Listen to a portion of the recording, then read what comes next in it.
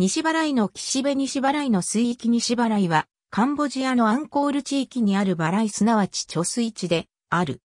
東西に伸び、城壁を巡らした都市アンコールトムのすぐ西に位置する。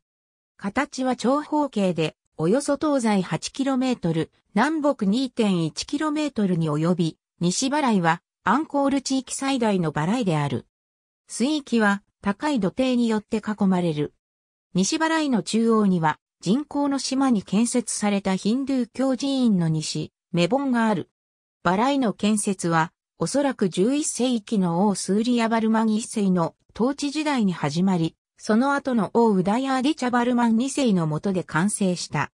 西払いを作ったアンコールの技術者は、それ以前の建築様式をところどころで取り入れたようである。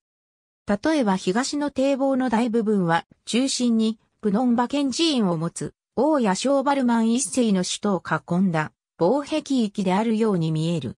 他の箇所においては西払いはより以前の人が作った地域を破壊もしくは水没させた。例えば南の堤防は、レンガのピラミッド寺院であるアックヨムを部分的に埋めた。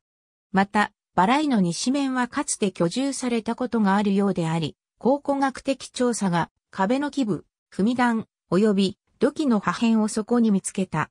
その地域で発見された明石碑は、西暦713年に遡る女王、ジャヤデービに提供された田を定めており、初期の定住のさらなる証拠を示している。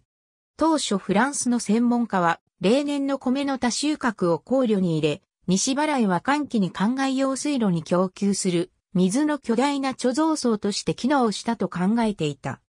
しかし後の多くの研究が、バライはその中心にある西メボン寺院と共に、ヒンドゥー教の天地創造の海の広大な描写としての役割を果たす、主に象徴的役割があったことを理論づけている。現代では、西払いの南側の堤防には灌漑の水門が作られ、水位を上げて、南の田畑への水の供給に当てられている。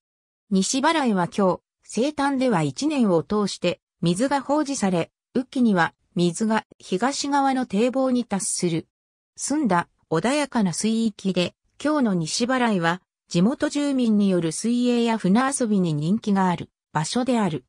西払いは時折、水上飛行機のための着陸地点として使用された。ありがとうございます。